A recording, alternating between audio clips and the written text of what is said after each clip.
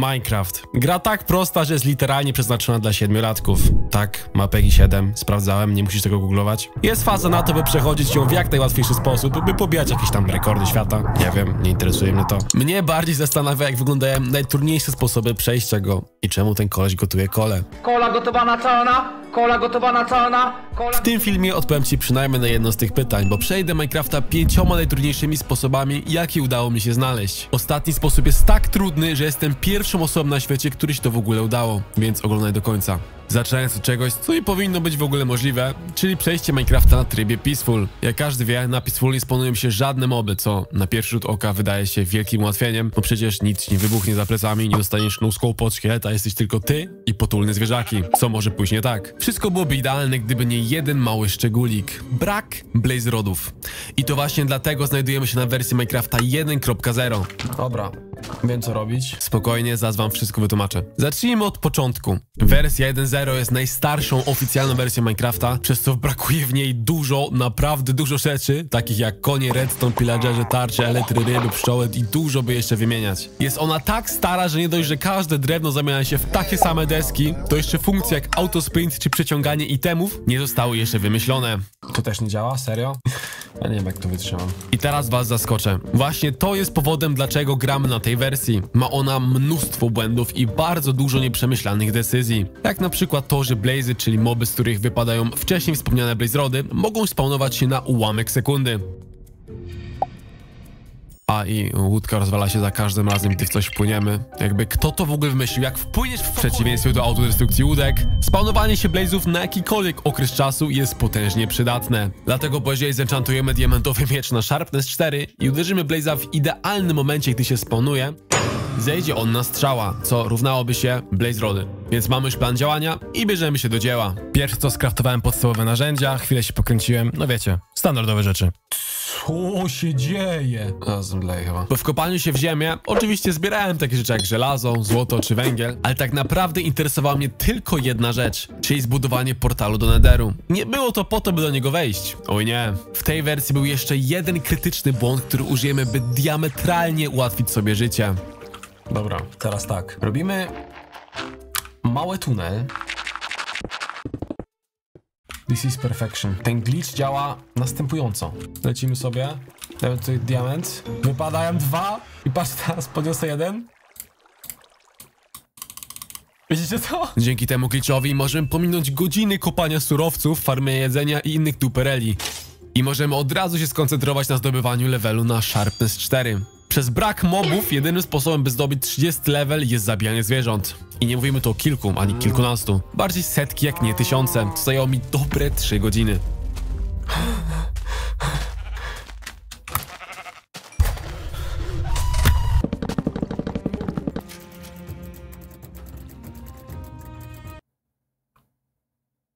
Ale mnie korci.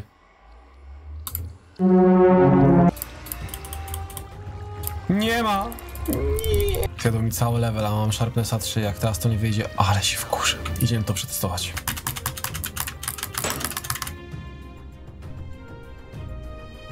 Niestety okazało się, że jedyne co zabije Blaze'a na hita to Sharpness 4, więc bezskutecznie powtórzyłem cały proces jeszcze dwa razy. Nie! Nie! Ja pierdolę. By dojść do pewnej, bardzo ważnej konkluzji. Okazało się, że 30 level to nie jest najwyższy level, na jaki można zenchantować jakiekolwiek itemy. W tej wersji marnowałem czas źle enchantując. Tak, w wersji 1.0 maksymalny poziom enchantu to nie 30, tylko 50. Co dużo tłumaczy. Nawet zauważyłem to pierwszy raz enchantując, ale uznałem to jako śmieszny glitch. 32? Co jest? Brawo Marcel. Mając ten fakt z tyłu głowy, przyczyniłem się do wyginięcia niemalże każdej rasy, którą napotkałem i tym razem zenchantowałem miecz 50 levelem. Muszę to wziąć. Muszę to wziąć, ja się teraz tutaj nie wiem, naprawdę. Ja nie wiem co ja zrobię, jak teraz się nie uda. Proszę.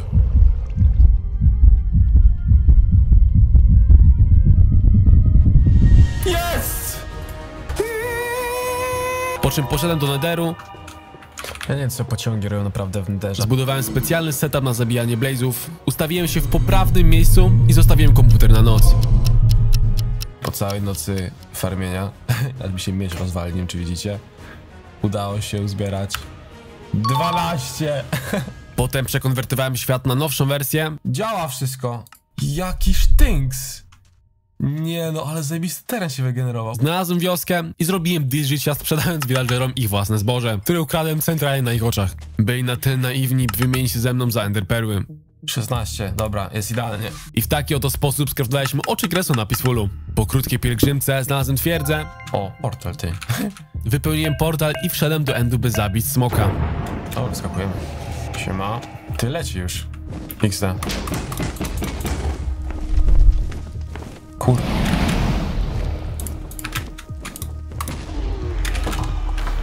No i co, ty? Peaceful prze...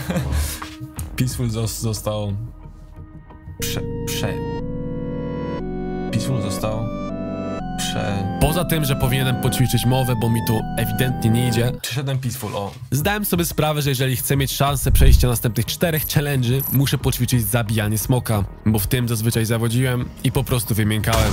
Więc następny dzień poświęciłem na specjalnej mapce do trenowania właśnie tego. Widzicie, do czego mnie zmusiliście? Ale jak, ty? To ja tak. Zwaliłem. Dobra, dodam. Ała, ała, ała, ty, mord... Yeah! No kur... Nie poda mi się to. Gdy już w miarę regularnie udawało mi się unicestwiać smoka sześcioma łóżkami. Jest w ogóle, ty? Pewny siebie przystąpiłem do następnego challenge'u, który wymaga ode mnie niezawodnej orientacji w terenie. Dlatego, bo wszystko, dosłownie wszystko było białe. Myślałem, że to będzie jeden z prostszych sposobów, bo oprócz koloru niczym to się nie różni od zwykłego przejścia Minecrafta. I to był mój błąd. Nie zdawałem sobie sprawy, jak dużo zawdzięczamy kolorom w Minecrafcie. Oczywiście takie rzeczy jak znalezienie drewna czy zebranie jedzenia nie sprawiły mi większych trudności, bo jakby dopóki przedmiot jest powiązany z charakterystycznym kształtem, na przykład drewno z kształtem drzewa, to chyba każda normalna osoba połączy kropki. Więc po skraftowaniu podstawowych itemów udałem się do pobliskiej wioski, przy okazji zahaczając o zatopiony wrak statku, w którym na moje szczęście znalazłem mapę do zakopanego skarbu. Popłynąłem na miejsce zaznaczone X-em i ukradłem co się dało. I to wszystko było jeszcze w miarę okej. Problemy zaczęły się dopiero wtedy, jak postanowiłem pójść pokopać. E, dlatego, bo znalazłem sekret. Wszystkie rudy wyglądają tak samo. Mają taki sam dźwięk kopania i znajdują się w jaskini, które, uwaga, są całe białe. Więc miałem wybór albo kopać co popadnie z nadzieją, że w końcu trafię na żelazo, albo użyć pewnego sprytnego triku. Gdy klikniemy F3, wyświetla się dużo przydatnych informacji, jak na przykład jakie mamy podzespoły, ile mamy FPS-ów, nasze koordynaty i dużo więcej. Nas obchodzi jednak tylko ta oto linijka znajdująca się po prawej stronie ekranu. Pokazuje ona nazwę bloku, na który się patrzymy, co można sprytnie użyć jako swego rodzaju skaner. Dlatego przez następne pół godziny chodziłem po jaskini machając myszką jak wariata we wszystkie strony, z nadzieją, że zobaczę na skanerze Irona czy inne potrzebne nam rudy. Chyba nigdy tak bardzo wzroku nie wytężałem. Serio. Pozgubiłem się kilka razy. Amory, Znalezienie w skrzynce książki Ostrości 4. Postanowiłem założyć okulary w obawie o autentyczną utratę wzroku. A, moje oczy, ja cię... Pokopałem jeszcze chwilę, skraftowałem kowadło i nałożyłem szarpa 4 na miecz, co koniec końców przyczyniło się 100% do przejścia gry. Serio, sami zobaczycie, że gdyby nie to, to nie wiem w sumie jakby to się potoczyło. Postanowiłem nie marnować czasu, zbudować portal i udać się do Netheru, który w gruncie rzeczy się niczym nie różnił. Najważniejsze było tylko to, żeby nie pomylić podłogi z lawą i będzie ok. Jedyny problem, który miałem to znalezienie biomu o nazwie Warped Forest, w którym spełnią się endermany. Jest on bardzo podobny kształtem do innego biomu o nazwie Crimson Forest, w którym, jak możecie się domyśleć, Endermany nie występują. No ale ja tego jeszcze wtedy nie wiedziałem, no więc tu macie mnie stojącego w tym złym biomie przez 10 minut, czekającego na spawn Endermanów, no. Jest tu gdzieś biom? Po zdaniu sobie sprawy, że pod F3 możemy też podpatrzeć nazwę biomu, znalazłem ten poprawny i zabijając dużą ilość Endermanów uzbierałem lekko ponad 16 pereł. Mamy 17 pereł, idealnie, dobra. Udałem się do fortecy. W końcu, ja cię chycam. Zdobyłem 8 blizrodu, wiecie, standardowe rzeczy, którymi nie chcę was zanudzać. Przenieśmy się od razu do końcowej walki, która jest najciekawsza. Była to moja pierwsza próba zabicia smoka po moim długim treningu poprawnego używania łóżek. Przeciętnie na zabicie smoka potrzebowałem 6 łóżek, więc posiadając ich 8 w ekwipunku byłem bardzo pewny siebie, że mi się uda. Oj, myliłem się. Pierwsze trzy łóżka nie były perfekcyjne, ale uszłyby jeszcze w tłumie, czego nie można powiedzieć o kilku następnych. Zacząłem panikować i nim się obejrzałem, nie miałem już ani jednego. Na szczęście miałem swój miecz z ostrością 4, który, no ładnie mówiąc, uratował mi tyłek. Ukończyłem challenge, dobiłem smoka, przy tym tracąc bardzo mało życia, którego w ogóle nie będę mógł stracić w następnym challenge'u, w którym zamiast 10 serc, uwaga, będę miał tylko pół. Każdy upadek z większej ilości kratek niż dwie wiąże się ze śmiercią, więc tu nie było miejsca na najmniejszy błąd. Przed zaczęciem challenge'u skompilowałem listę rzeczy, które pomogą mi uporać się z brakiem pełnego HP. Najważniejszą rzeczą było posiadanie zawsze jedzenia, bo spadek głodu równał się z nieuniknioną śmiercią, więc zboże w wiosce było naprawdę dużym ułatwieniem. Potem musiałem zająć się obrażeniami od upadku, więc bez zawahania skraftowałem wiaderko do klaczy. I przy okazji zrobiłem tarczę, by nie musieć przejmować się atakującymi mnie mobami. To jest najważniejsze, co kiedykolwiek skraftujemy w tym oto speedrunie. Mimo tego wszystkiego, panicznie bałem się nocy, więc po przespaniu się w czyimś łóżku, Sorry, mordy. ja idę spać. poszedłem kopać, by się bardziej wystakować. O, kurde. Szczerze, to jeszcze nigdy tak zestresowany nie byłem. Wszystko mnie przerażało i chciało mnie zabić. Podczas gdy walczyłem o życie, Jezu Chryste. cały czas nurtowało mnie tylko jedno pytanie. Czy w przypadku, gdy mamy pół serca, zbroja cokolwiek daje? Postanowiłem to sprawdzić. I wyniki są naprawdę dziwne. Żeby przeżyć strzałę od szkieleta potrzebujemy minimalnie diamentowej zbroi i wtedy możemy na spokojnie przyjąć na siebie cztery strzały. Podczas gdy w żelaznej zbroi umieramy na jedną strzałę. Podobnie w sumie jak zombie, który w żelaznej zbroi macie dosłownie na jednego hita, a w diamentowej na 4 do 5. Pająk jest najmniej groźnym oponentem, bo potrzebuje aż 5 hitów w żelaznej zbroi, żeby cokolwiek mi zrobić. Podczas gdy wybuch Creepera jest najbardziej śmiertelny i nawet w pełnej netherite'owej zbroi z Blast Protection 4 nie udało mi się ani razu ujść z życiem. Więc teraz już to wiedząc, kraftowanie sobie połowy żelaznej zbroi nie miało żadnego sensu. Po przepaleniu wszystkiego kierowałem się już do Netheru, który jakby nie patrzeć jest potężnie niebezpiecznym miejscem i w którym musiałem całkowicie zmienić plan działania. Zamiast wiaderka z wodą musiałem używać alternatyw jak łódek i krętorośli, dzięki którym to wszystko miało w ogóle rację bytu. Dosyć szybko znalazłem fortecę, w której każda sekunda to była literalna walka o życie. Jezu. Więc zebrałem wszystkie Blaze wyzerowałem Pimbarka i poszedłem tradować się z pilinami za wcześniej ukradzione im złoto. Jezu, jak mało złota, no weź. Ajajaj. Niestety chyba się skapnęli, bo dostałem za mało pereł i kilka ostatnich musiałem pofarmić zabijając endermany. Na szczęście długo mi to nie zajęło i po zabiciu ostatniego endermana 16, no dobra. przyszedłem do Overworldu i zająłem się szukaniem twierdzy, śpiewając przy tym hity z 2020. Pum, pum. No. Wiedziałem, że tym razem nie będziemy mogli użyć mojej standardowej strategii zabicia smoka, którą było wysadzanie go łóżkami, więc zamiast tego postanowiłem rozwalić wszystkie kryształy i spróbować zgładzić go łukiem. Jeden hit od czegokolwiek i jest pewny. Jeden hit. Kilka kryształów już mamy.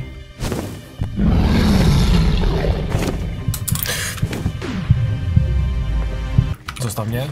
Zostaw mnie! Oj, oj, oj, oj, oj, oj! Nie walaj! Ma jeszcze w ogóle z czego się... Chyba nie. Ty. Już nie ma. Dobra, walimy go! Po strzelaniu do niego przez dobre 5 minut zdałem sobie sprawę, że były jeszcze dwa kryształy, o których zapomniałem. A on się dalej leczy. Nie.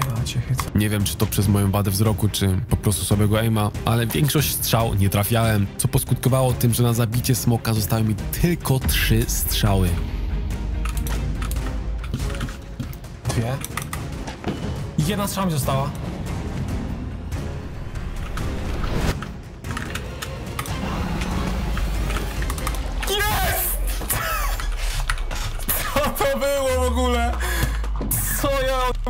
Na szczęście wystarczyło centralnie na styk i zakończyłem challenge pomyślnie, czego nie mogę powiedzieć o mojej ostatniej próbie przejścia Minecrafta w prostej linii.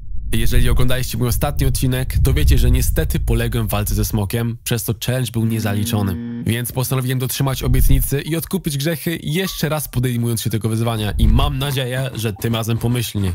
Znając już wszystkie niuanse powiązane z przechodzeniem Minecrafta w prostej linii, znalazłem idealnego seeda, gdzie Stronghold i twierdza są na tej samej kratce wziąłem się do roboty. Skądś to kojarzę. Zespawnowałem się na bajomie z grzybami, co oznaczało, że od samego początku nie musiałem się martwić jedzeniem. Tym razem nie marnowałem czasu na zwiedzanie świata z nadzieją, że znajdę wioskę czy jakąś inną pomocną strukturę, tylko skupiłem się wyłącznie na kopaniu. Zdobyłem bardzo dużo pajęczy na wędki, które nam się przydadzą w nederze i przy okazji miałem chyba największego farta do diamentów, jaki kiedykolwiek mi się przytrafił. Raz, dwa. Już mam 16, będę całego seta zaraz ty. Wszystko przepaliłem, skraftowałem zbroję i znalazłem lava pula, w którym zbudowałem portal w ultra szybkim czasie 3 minut i 30 sekund. Nie no, chyba te tutoriale wylatują mi jednym uchem i wylatują drugim, bo w retrospekcji zdałem sobie sprawę, że już szybciej chyba byłoby ręcznie skopać obsydian i wybudować im portal. Ale pomijając moje nienaganne skillsy speedrunowania, A mamy zapalniczkę? Wszedłem do Nederu i w przeciwieństwie do mojej ostatniej próby, tym razem postanowiłem pominąć szukanie Sebastiana i zdobyć perły po prostu zabijając Endermany. Używałem techniki inspirowaną nową hutą w Krakowie. Ta technika polega na tym, że patrzymy się komukolwiek w oczy i czekamy aż wkurzony zacznie biec w naszą stronę. I nie po to, by nas przytulić. Oj nie. Podobnie to działa z Endermanami, więc wykorzystałem to, by nafarmić wystarczająco pereł i udać się w poszukiwaniu fortecy. I tym razem nie było to takie hop siup. Szukałem jej bardzo długo, a gdy już znalazłem, to niestety żaden spawner nie był wystarczająco blisko mnie. Ty, ale ona... Nie jest tutaj na prostej linii. I musiałem spędzić następne 20 minut na bridge'owaniu się nad lawą, co było bardzo stresujące i nie życzę tego nawet najgorszemu wrogowi. Po znalezieniu idealnej fortecy zabudowałem się i użyłem wędek, by zwabić Blaze do mojej nory, na których użyłem potem jeszcze jednej techniki, którą nabyłem na nowej hucie. Jedyne co ta i moja ostatnia próba miała wspólnego, to gasty, które nie dawały mi spokoju i korzystały z każdej możliwej okazji, by zrobić mi krzywdę. No! Udało mi się jednak przed nimi schować i zbudować portal z wcześniej przygotowanego obsydianu. Bach. Teraz? Myk. W Overworldzie musiałem jeszcze standardowo uporać się z owcami, które są chyba wszystkie w jakiejś zmowie, żeby czasami nie iść w moją stronę, gdy mnie zobaczą. Nie odwracaj się teraz, błagam cię. Nie! Po zbieraniu wystarczającej ilości wełny na łóżka, wkopałem się do twierdzy, której koordynaty miałem wcześniej zapisane i wszedłem do endu. Tym razem mogłem już normalnie, bez problemu użyć łóżek, by zabić smoka. Mówiąc bez problemu, mam na myśli to, że znowu spanikowałem smowałem łóżkami jak popadnie. Jezu, ale gówno, ale gówno. Jedynie to ostatnie łóżko udało mi się w miarę trafić i na totalnym farcie udało mi się zabić smoka. Jest! Ja cię myślałem, że koniec. I owszem, nie jestem pierwszą osobą, której się to udało. W przeciwieństwie do ostatniego challenge'u w tym filmie, czyli przejście Minecrafta na trybie Adventure. Adventure jest to tryb, gdzie teoretycznie nie możesz nic stawiać ani rozwalać. Chcesz skraftować wiaderko wody? Spoko! Najpierw logicznie musimy skraftować kill off, żeby się wkopać, więc rozwalamy drewno, a no tak, nie możesz. Ale dobra, powiedzmy, że ci się przyfarciło i creeper rozwalił ci drzewo i masz kilka desek. To teraz stwórzmy crafting, ok, postawmy go. A, no tak, nie możesz nic stawiać. Obojętne przecież crafting można znaleźć w wioskach. To nawet lepiej dla nas, co nie? Przy okazji, zamiast kopać żelazo, weźmiemy je po prostu od kowala. Gratulacje, skraftowałeś wiaderko. Teraz wystarczy tylko podnieść wodę i zrobić porta. A, no tak, nie możesz podnieść wody. Mam nadzieję, że widzicie problem związany z trybem Adventure. Dosłownie wszystkie techniki, które potrzebujemy, by przejść Minecrafta, są zablokowane. Ale Marcel, Tobiasz, co z Tobiaszem? Przecież przechodził ten tryb, nie jesteś pierwszy. 20 innych osób No już to udało. dwa lata temu zrobił to przecież. Czekajcie, bo muszę ustawić tło. O, to, to nie to, okej. To też nie, dobra. O, mam, do... Siema. jestem tu, by rozwiać wasze wszystkie wątpliwości. Owszem, nie jestem pierwszą osobą, co to próbuje, ale wszystkie z wymienionych osób mają jedno co wspólnego. Wszystkie cheatowały. Zaraz wam powiem, o co dokładnie mi chodzi. Ale najpierw zacznijmy od tworzenia świata na wersji 1.4.2. Tym właśnie się głównie różni moje podejście od wcześniej wymienionych osób. Tobiasz jak i Rekrab zaczynali grę na wyższych wersjach i dopiero w późniejszym czasie konwertowali na wersję 1.4.2. Tracąc przy tym wszystkie itemy, co według mnie jest po prostu bez sensu. Pewnie sobie myślisz, czego akurat tą wersję, a nie inną? Już śpieszę z odpowiedzią. Wersja 1.4.2 ma w sobie jedną zmianę dotyczącą Adventure Mode'a. Na tej wersji również nie możesz rozwalać bloków, ani ich stawiać. Dopóki nie robisz tego poprawnymi toolsami. Czyli jeżeli na przykład chcesz rozwalić blok, nie? Łapką go nie rozwalisz, ale jeśli na przykład rozwalasz drewno, to rozwalisz drewno siekierą, bo do tego stworzona. I tak jest tylko na wersji 1.4.2, dlatego każda nie gra. Problem jest tylko w tym, że wiecie, spawnujemy się centralnie bez niczego, więc od początku nie mamy tych toolsów i musimy wykminić, jak zdobyć materiał na to, by je skraftować. Mogę kraść jedzenie chyba. A i tak zrobię? Ty! Wydeptaniu archaicznym villagerom całych plantacji, rozgościłem się u nich w wiosce czekając na noc, która była mi potrzebna tylko do jednego. Dzięki. Ty, czekaj. A mogę postawić, ty, co jest? Już mogę tak zrobić teraz? I mogę teoretycznie teraz rozwalić, tak. no to niezły adventure. Wystarczyło wysłużyć się creeperem i w taki oto sposób zdobyliśmy drewno, a potem tak naprawdę to już było z górki. Skraftowałem odpowiednie narzędzia pod każdy typ bloku i Adventure Mode zmienił się w zwykły tryb, niczym nie różniącym się od Survivala. Wszedłem do jaskini, pokupałem trochę żelaza, złota, ale głównie chodziło mi o diamenty, bo bardzo zależało mi na diamentowym kilofie. Był on mi potrzebny tylko i wyłącznie do jednej rzeczy czyli do zbudowania portalu do Netheru, ale... Jeżeli widzieliście inne filmiki z próby przejścia Minecrafta na Adventure Mode, wiecie, że na wersji 1.4.2 nie da odpalić się portalu. Wait, what? What? Nether portals aren't. Okay, maybe. I żeby zwalczyć ten problem, Rekrap jakiego polski odpowiednik, wytrwanili się i przekonwertowali świat na wyższą wersję, na której portal sam się odpala na przykład drewnem czy game modem, nie wiem. Jest w tym jeden duży problem. Mianowicie taki, że na wyższych wersjach nie da się wypełnić end portal frame'ów oczami kresu. Wydaje mi się, że jest szansa na pewną rzecz. Uwaga. Tak myślałem. Nie da się na Adventure Mode wkładać oczu. No i tak naprawdę co? Więc co w takiej sytuacji zrobiła każda osoba, którą wymieniłem w tym filmie? Skrócie, zmienili sobie game mode na survival, wypełnili cały portal oczami, weszli do portalu i potem zmienili z powrotem na adventure moda. Tłumacząc się tym, że jest to niemożliwe i równie dobrze mogą udostępnić świat land, żeby wpuścić jakiegoś znajomego i wtedy znajomy im to wypełni, więc po prostu nie ma sensu, stary. Czy ty siebie słyszysz? Tutaj jakbym na samym początku filmu powiedział, wiecie co, ogólnie przechodzę Minecrafta na Adventure Mode i wpuściłem mojego kolegę, który za mnie rozwala wszystkie bloki, więc jakby ja miałem Adventure Moda przez cały czas, to on mi rozwalał klocki, więc według mnie po prostu takie tłumaczenie jest mega głupie. No jakoś mnie ta odpowiedź od nich po prostu nie zadowalała. I przypomniałem sobie jedną kluczową sytuację z tak jak przechodziłem Minecrafta na wersji 1.0. Otóż miałem ten sam problem z odpaleniem portalu, co każda inna osoba. Przepraszam. O co chodzi?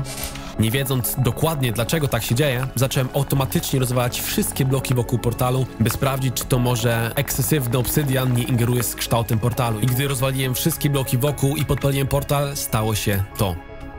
Portal normalnie się odpalił. O co chodziło, to ja nie wiem. Więc łącząc kropki, zamiast konwertować 1.4.2 na wyższą wersję, żeby odpalić portal, możemy zostać na 1.4.2 i po prostu zadbać o to, żeby nie robić portalu wiaderkiem z wodą. Więc w przeciwieństwie do nich, skopałem obsydian wokół portalu i kto by się spodziewał? Normalnie się odpalił. Wow! Prawie jakby to było możliwe. Tyle zachodu.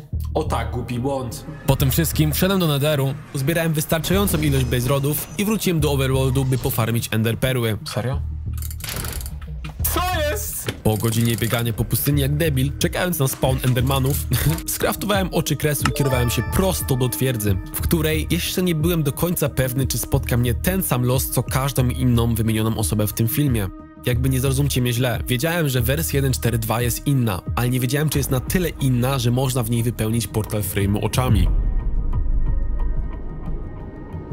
Więc nadeszła chwila prawdy.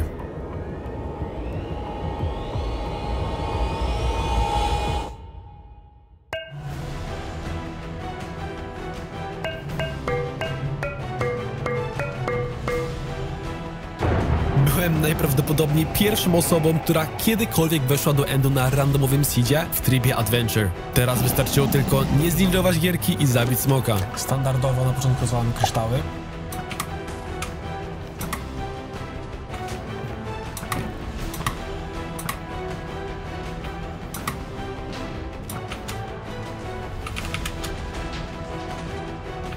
Jezu Chryste, że został tylko jeden kryształ.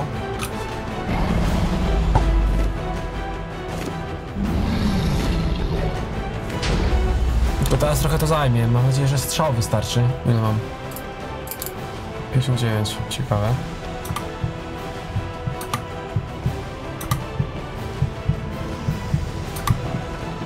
Wkurzył się, leci na mnie.